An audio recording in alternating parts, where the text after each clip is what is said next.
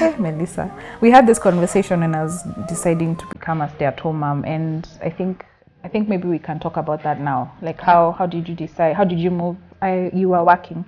Maybe you can you can talk about that. Uh, how how long were you employed, and then how you decided to become you know a stay-at-home mom. Mm. Okay. So I didn't become a doctor. Yes.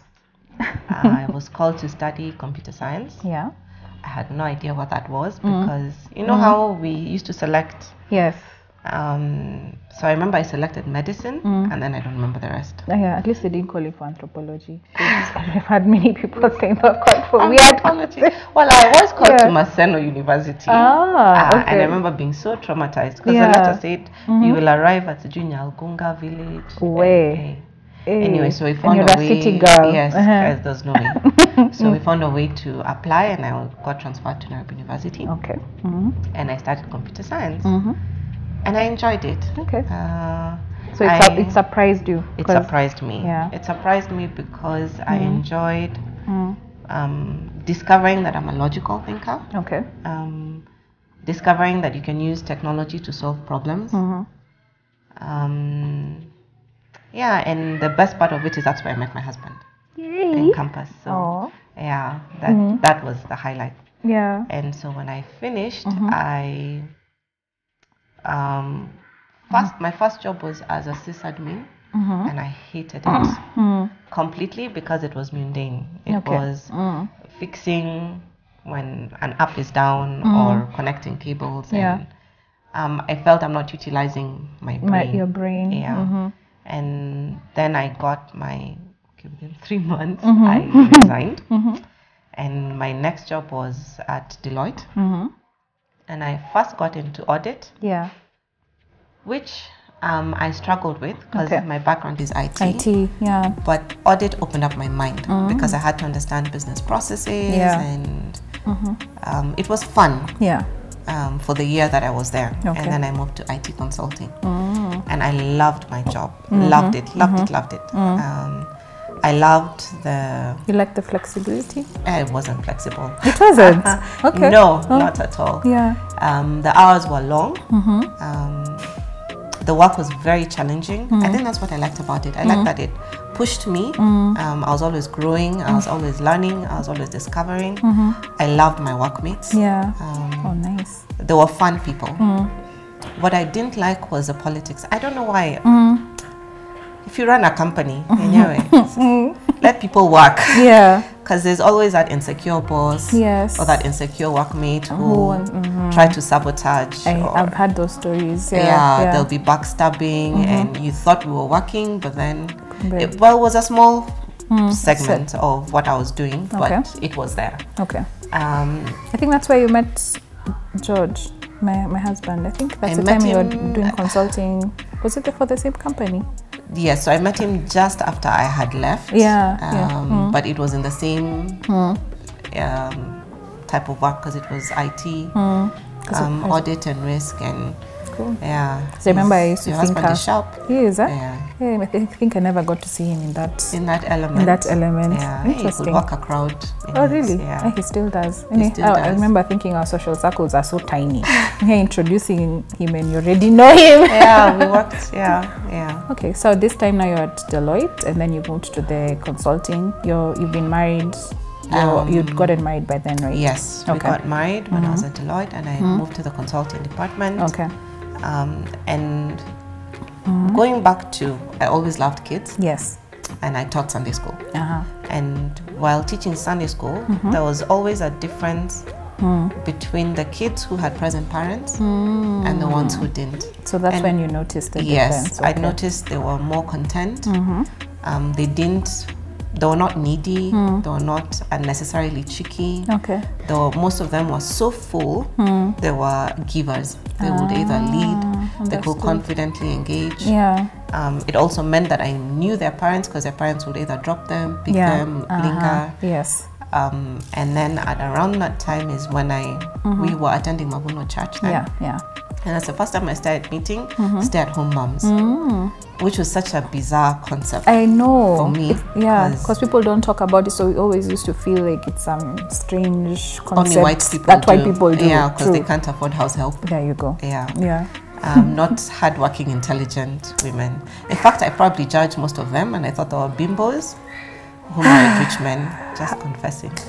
Now that now we are that one that side, we're the recipients of that judgment. Yes. Gosh, eh, don't even get me Uh, started. Anyway, Yeah. So Mavuno, Mm-hmm. you've seen the Mavuno, and then I've seen these kids, and then Yeah. I've visited women who were stay at homes, Okay. and their homes were homely. They were lived in, like the carpet was well worn, uh-huh. the chairs were, uh-huh. the books were well read. Like you know, mm-hmm. mm. you enter and you just want to cuddle on the you. sofa. Yeah, Um, I get it completely. and I compared now with my corporate colleagues, Mm-hmm. who I remember I once went to one partner's house, mm-hmm.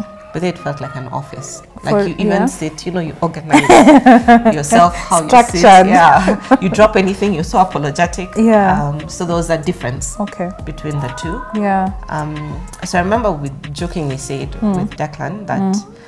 Jokingly. Uh, yeah, jokingly said that. Okay, we knew when children come, uh, we'd love to be more present. okay. And while at Deloitte, there's no way that would happen because Yeah. the hours were long and the work was demanding. Um, but we had planned that the kids will come uh, when we already have a house in Karen. Ah, Uh, many three many cars. years. Why? Yeah, that's the plan. and God was in heaven laughing. like, It's like oh, they're there, yeah. there. The Uh-huh. plans are great. Okay. Because within our first year of marriage, we got pregnant, Okay. Uh, which was a shocker because Yeah. that The house in Karen plan. has not come. Yeah, no, and I was. It mm. happened when my career was just like taking mm. off. You know, I was mm. in a good space. I had lots of favor. Um, I was getting more and more responsibilities. Yeah, And the funny thing is, I was so certain this is where I was meant to be. I hear you. Yeah, and then I get pregnant. Uh-huh. Then Declan reminds me. He's like, oh, by the way, uh, remember we'd said. Mm-hmm. And then now, while being pregnant, you know, the scales fell off because now I started seeing my workmates who were moms Okay. and how they will struggle Yeah. um, to to balance. balance work Yeah. and and being there for their kids. Yes, Okay. and I remember one of my bosses, uh, lady, Hmm. very tough woman. When I got married, took me for a lunch date Mm-hmm. to tell me, now that you're married, don't change. You need to prove in this space Hmm. that just because you're a woman, you won't drop the ball. My goodness, it's so hard for women. It really is. Yeah. Um, and you have to show up like 10 times more. So make whatever systems you need. Yeah. Um, so watching the sacrifices that they had to put in, Mm. then me remembering the difference I could see in the kids The who had present parents. Exactly. Yeah. At this point, I was earning more. Let me, let Mm. me throw that Mm-hmm. in the spanner. So I was the one bringing in the cash. My job had the medical cover. Yeah, I know we bonded over this. Bonded over this. the nice little packages that just make life yeah, nice. nice. Mm, Um, But yeah, I took time, thought about it, and decided to let go. And When you were pregnant or when I was pregnant, I was eight months pregnant. Uh-huh. And I remember being asked, So you have a rich husband? and I said, Yes, Mm. by faith. We're very wealthy. But yeah, we didn't know how we'll pay for the, Mm. the hospital. But you know the way you just know. You just Mm. know that you know that you know. This is the path we're supposed to follow. Yeah. And, and yeah. Yep. So I put a mic drop. Mm, and you are out. I'm out, yeah. And then the baby came. then the baby came. Uh, We paid, shockingly. Okay. You know, in life, the way you say, hmm. if it gets here, it's so hmm. bad. Yeah. Then you get there and you're like, oh, we're still, They're still we're still standing. here, yeah. Hmm. Um, and then I remember when I left, my prayer then, still my prayer now, was not to always say, oh, yeah, we're from a single income home. Income home, yeah. Life is Uh, hard. Yeah, oh yeah. I used to pray. Mm. God use me Okay. as an example mm. that others will look and say, okay, if Mel did it, mm. it's possible. Oh my gosh. Um, Can I say something? Because Yeah. You know it's it's it's um and the reason why i wanted you to be the first one in this series is because i say that to myself all the time. If mel can hack this then i can. I only have one Mm. Kid. Yeah i do. Oh, yeah. i honestly do. Even when we're considering homeschooling we talked about it with georgie and i even spent time with you just to observe and see how you, you go about it. I'm like hey you you are an example for sure. And I, and I, and I'm thankful that God brought that I would call it a prophecy to fruition because it has helped so many people in their journey yeah and I know the people who are watching this will also get yeah. encouraged it's true it's so so true you Thank actually God. called it's it was deliberate you called it Was- forth I did. Eh? wow In fact, every time I'm asked to speak, but then Mm-hmm. Yeah. Mm-hmm. I shy away. The only reason I've agreed to this is I really better you. oh say it but I've begged you for a long And every time I resist, the Yeah. Mm-hmm. scripture that comes to mind is a city on a hill cannot be hidden. So Yeah. let your Mm. light, Light so shine. shine, yeah, that people may see and give your Father in heaven. So that's been my prayer. girl, Yeah, that, hey. that so that when people see, they won't see Mel. They'll see, okay, yeah, God has helped Mel. So Yeah. the God, the God Mel prays to, you must come through.